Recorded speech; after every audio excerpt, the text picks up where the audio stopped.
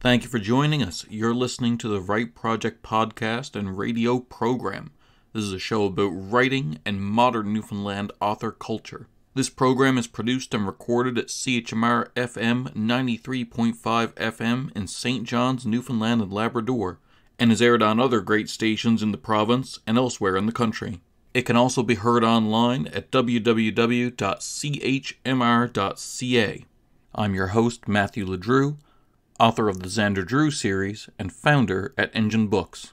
Let's see what we have today. We are on with Jen Winsor, the executive director of the Writers Alliance of Newfoundland and Labrador. She has been gracious enough to come on the line with us here at the Write Project podcast. She's been very, very busy with a thousand things that she's been doing during working from home during the uh, this crisis, and we're going to be talking to her about some of the things going on at WANL, uh, the things she's been up to, things they're planning, uh, that you know, things to help writers while we're all in self isolation and keep things keep things running. How are you, Jen?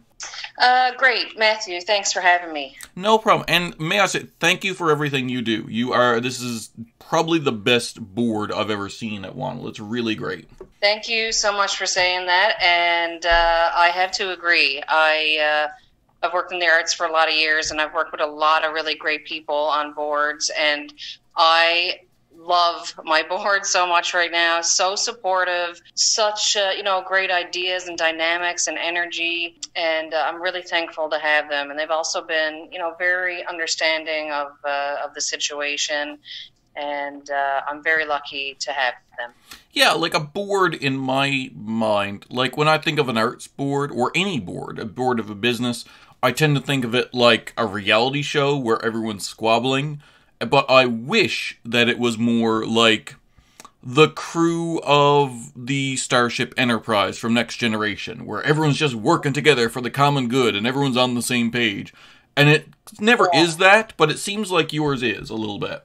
Mm, I mean, of course, like we don't always agree on everything, but I think there's a great dynamic within our board that there is a really high level of mutual respect for sure and and you know some people may come at things from a different angle than others but everyone is very respectful of everyone's opinion. And at the end of the day whenever we make decisions we make decisions for what's best for our members as a whole and uh, I think so far um, it's been really working for us and really appreciate all their time. And you know, those board members too, they're volunteers. These people are not getting paid for their time, they are volunteering. And uh, sometimes, you know, some of these people are putting in a lot of hours. Yeah. Um, so we, we appreciate that so much. Volunteers, um, you know, they make associations like ours possible. And um, I'll take this opportunity to even give you a little shout out if I could. You had you were named our volunteer of the year uh, last year at our annual general meeting. Congratulations! That might be the only thing your board has done that I've disagreed with yet, but yes. but no, I mean you you have been so helpful to us too, and you've been sitting on committees and and been involved and engaged. And uh, we oh, I've been meaning to, to say to ask you actually. Mm-hmm. I uh, would like to be on all the committees. Oh, yeah, yeah, I'm sure we can arrange that. Excellent. Actually, no, no, no, we're not going to do that to you. No. We're not going to do that to you.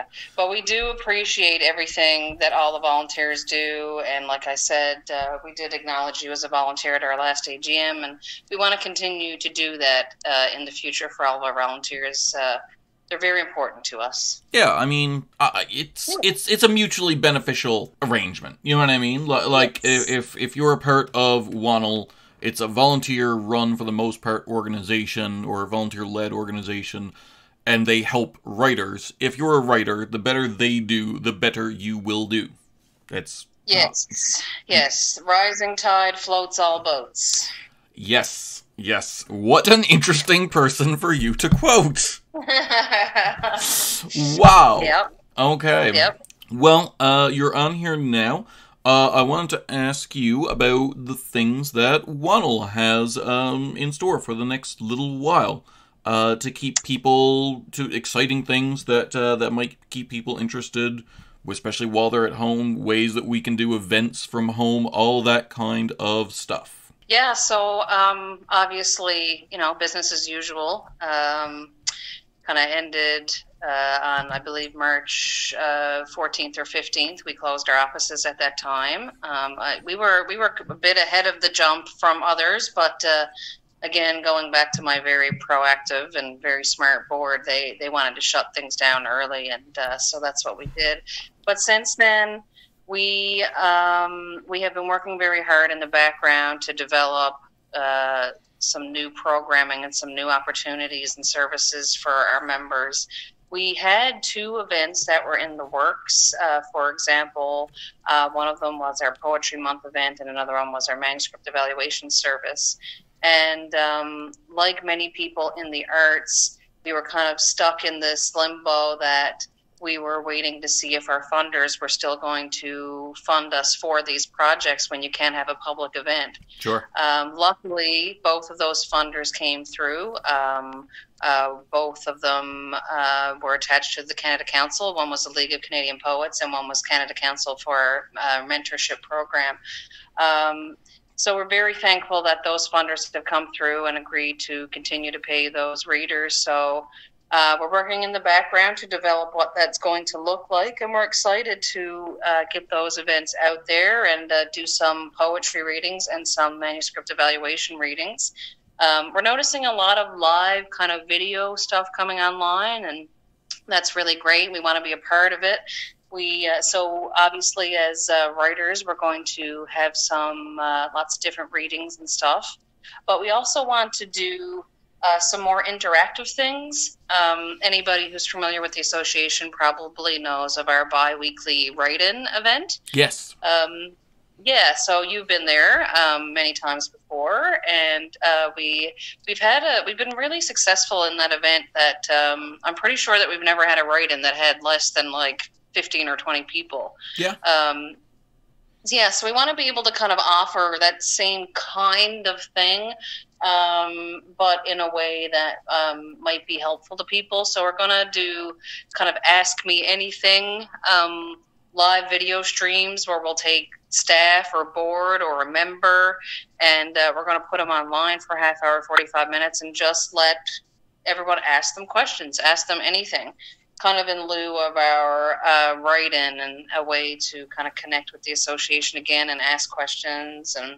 that's so interesting. by the time this airs i will have just done something like that with uh, with Engen but specifically to uh, to answer questions about submissions where they're closing soon Right, right. Yeah, I uh, I find that method can be really nice. I mean, if it's like myself, for example, and it's an ask me anything, um, I really mean like people can ask me anything. It can be about WANL, it can be about you know whatever. Um, so we encourage people to. Um, you know, to, my internal troll is just is just coming up with very not cool questions to ask you right now, right? Of course, yeah. of course, yeah, yeah. And I would say bring it. I mean, of course, like you know, you might get kind of trolly people to ask inappropriate, weird questions, but that's fine. I. Uh, I, I, don't mind that. I can handle that. Not that you're a troll, but no. Oh, I know I am. That's my defining characteristic. That's that's the first thing I think of when I think Matthew LeDrew. I'm I listen. Yeah. There's a friend, another author that used to live with me, uh, Alicia Morrissey's partner, actually. Ask ask Daniel. her if I'm a troll. Uh huh. Yeah.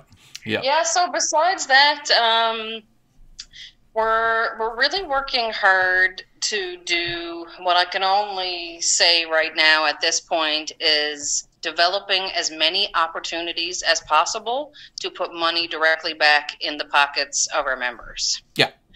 Um, so we're working on, and and again, you know, a lot of these things are in development stages right now, and I'm not sure if they will be announced by the time that this is aired.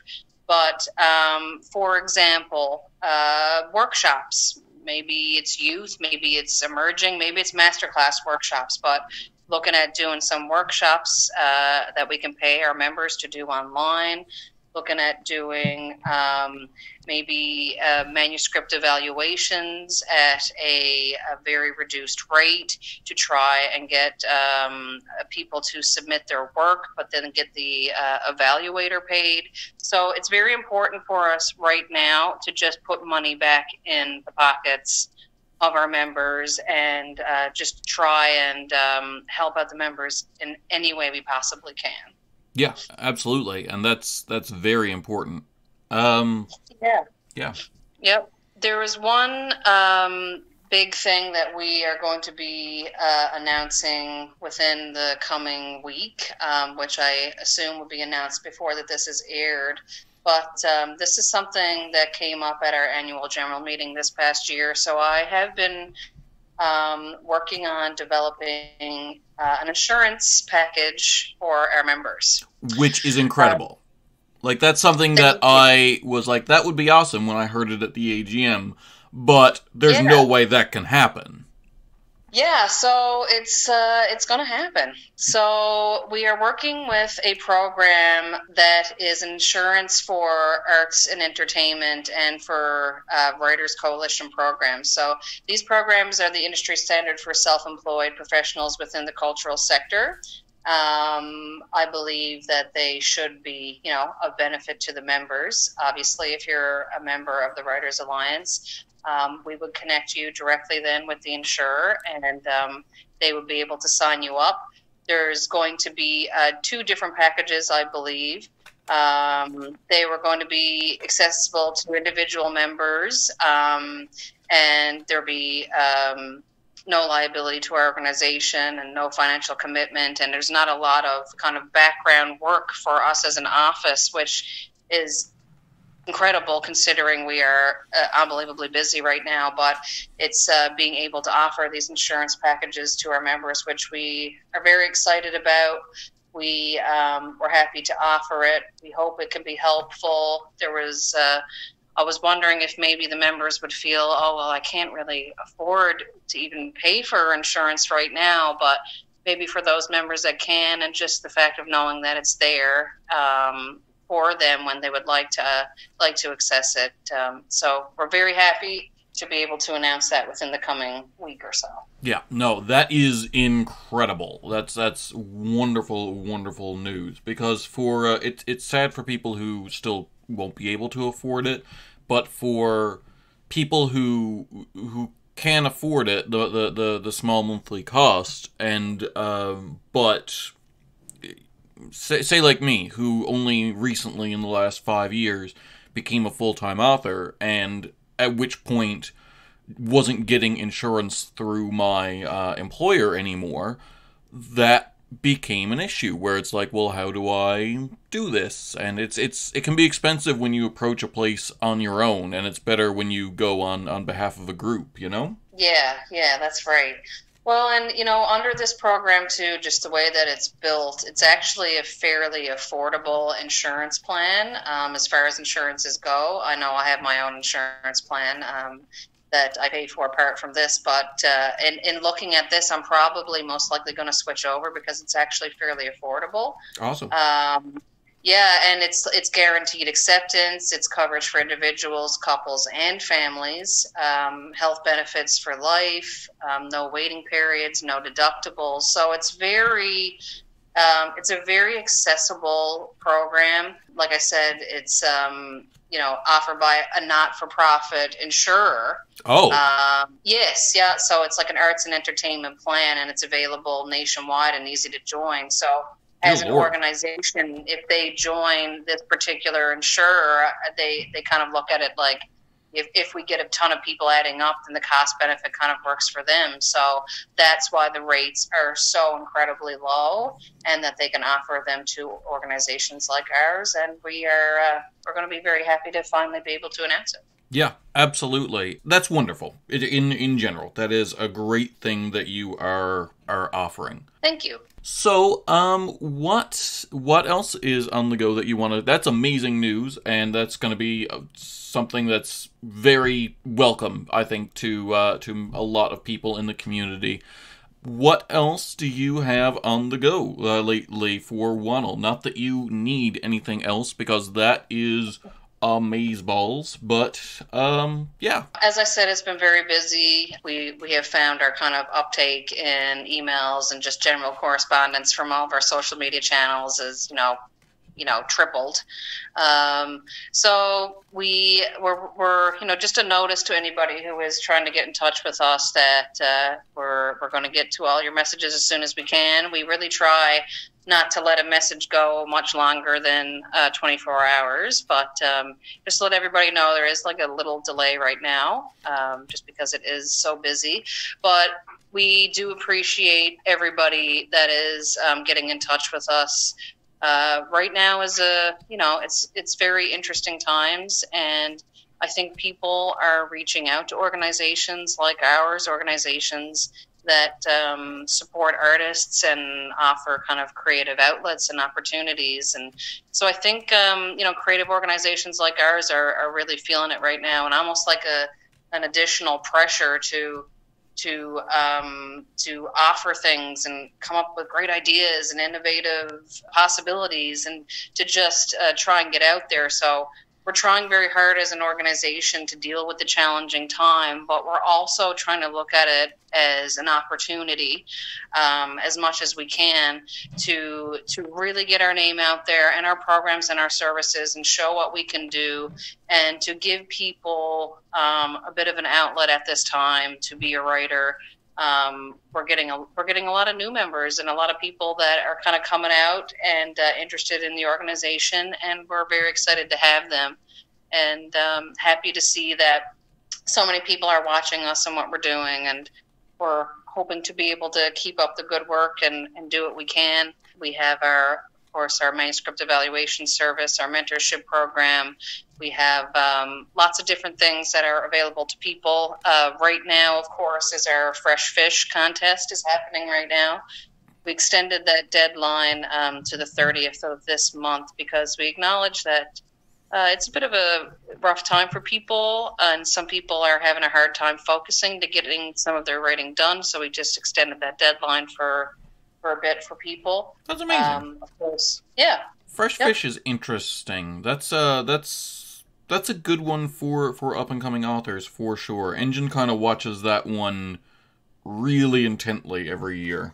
Just just Yeah. to see who's who's coming, you know? Yeah, yeah, and with good reason because you know the people who um, are these winners and runners up of of fresh fish are you know some of these books have been you know huge, huge uh, successes, and uh, it's you know I'm not going to lie, this is a competitive contest. This is you know some really great work.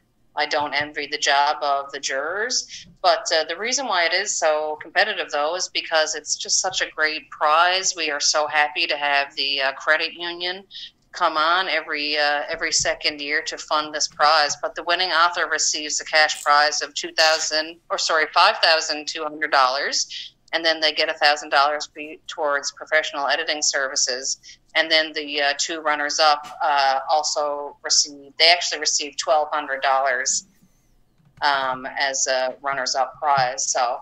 Um, and not only that, I think uh, you know saying uh, that you won the Fresh Fish Award uh, for that year is also um, that's also a big thing. It's a pretty prestigious award, and we're really happy to offer it. It is. It is. Uh, Jen Winsor, what was an early experience that you had where you learned that language had power? I guess probably pretty young. I was always a pretty kind of rambunctious type of kid, and I was always um, performing something. I always played instruments and wrote things and wrote songs and plays and just constantly entertaining. And uh, my idea of a good time when I was a kid was to be, you know, to fully produce some type of show, whether it be me playing music or acting out something or doing a lip sync, and I would charge my family to come watch.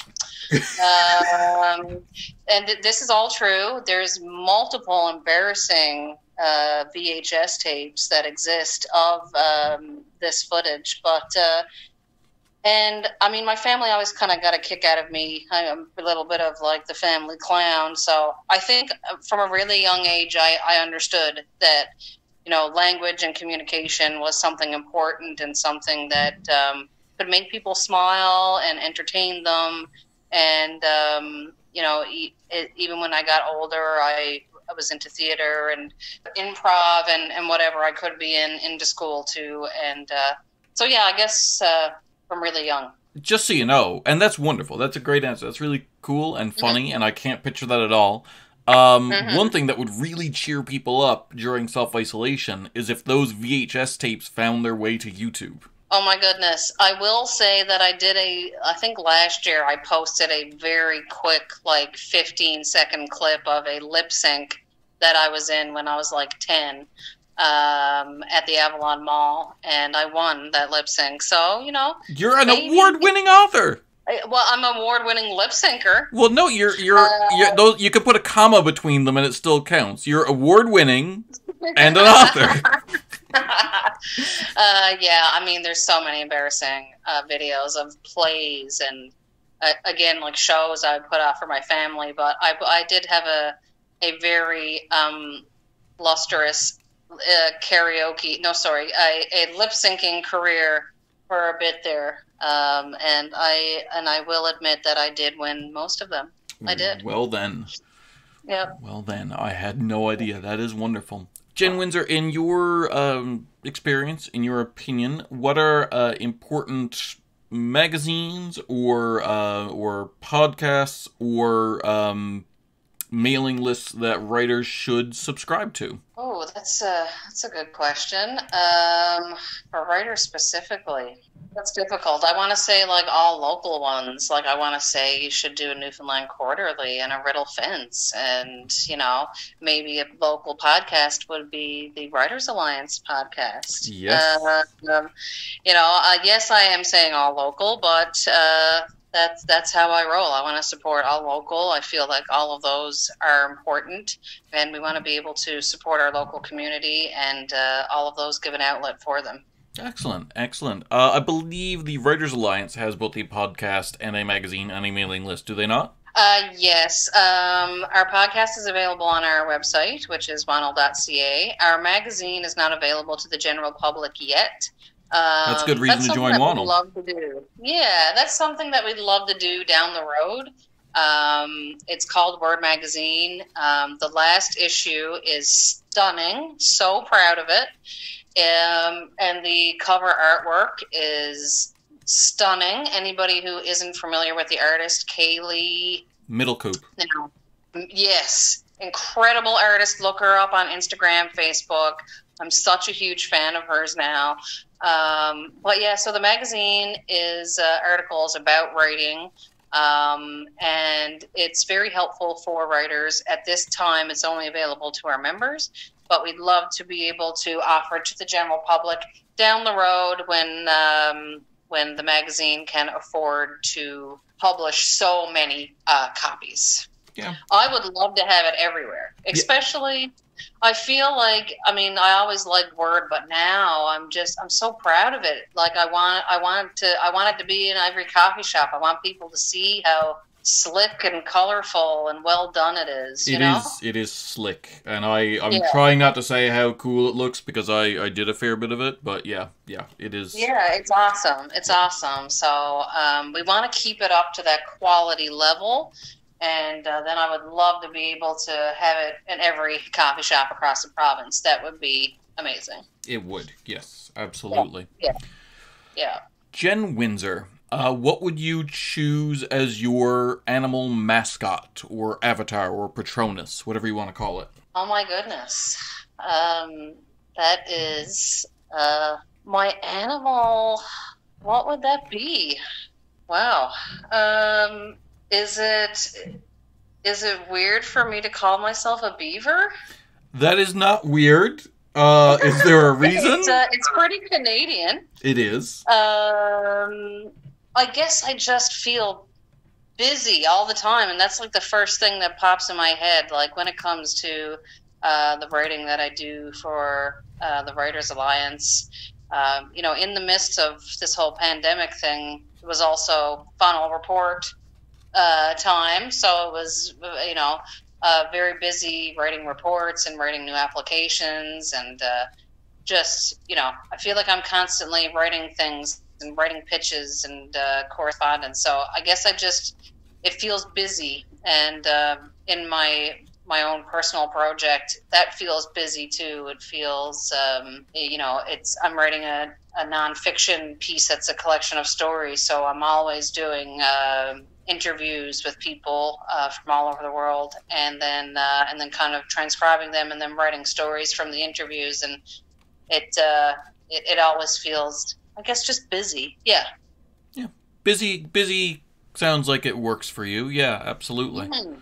Yeah. Jen Winsor, so you're writing some nonfiction stories um, based on real experiences of people. What do, if what if anything do you owe in terms of like respect and stuff like that the people on whose stories you use? Oh, like the utmost respect. I um, uh, so my my piece is uh, going to be uh, about women who got pregnant while working on cruise ships, um, like I did. So I spend hours, hours, hours talking to some of these women. Sometimes I will um, even go back and do second and third and fourth interviews with women, and sometimes, you know, we've become friends and made like a really important connection, and we're both talking and like weeping with each other, and it's you know it's an incredible um, experience and they're sharing you know their personal stories with me and sometimes it's very difficult for them to to tell me these things and the fact that they would share it with me I, I feel honored that they would, you know, not only share it with me, but be so candid with me. So the utmost respect. And um, of course, uh, once I complete everything, I'll send it to the women and make sure that they approve and make sure that they feel comfortable with everything that I talked about. Because some of the topics can be, you know, really complicated, and you know, it's involving real people. This isn't this isn't fiction. It isn't made up. These people are alive and well and moving throughout the world and could be hurt by some of this information being out there. So I have so much respect for the women who share the stories with me, and I can't wait for everybody to read them. Excellent. That's that's wonderful.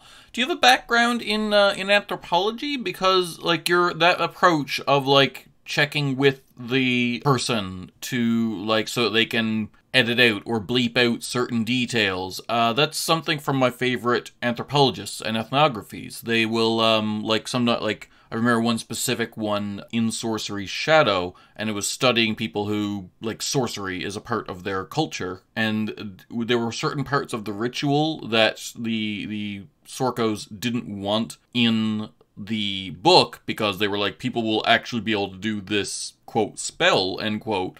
So they would like cut out like, like and just like literally like black bar bleep some stuff that was their way around it but they would cut out whatever the people wanted them to. Like you have to be respectful of people's the people you're interviewing.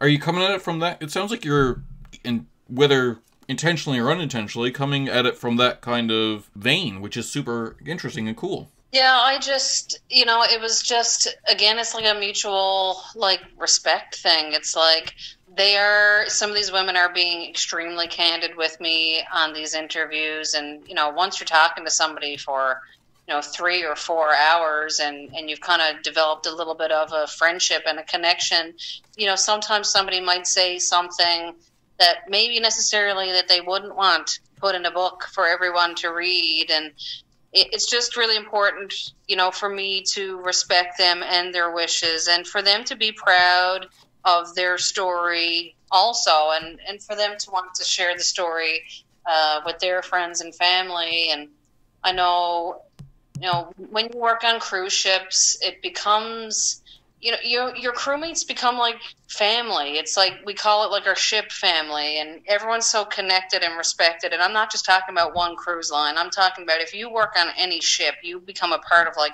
a ship family and everybody holds each other up and supports each other. And and because it's a very unique job and situation that you know unless you've been there it's really hard to understand yep. um, what it's actually like so i just you know i want to be respectful not only to those women but to my ship family and to um, everybody um, around the world all the seafarers around the world um, that work super hard especially right now. It's unbelievable what's happening with all my cruise ship friends. I yeah, I I, I can't imagine it feels like a great place to be right now.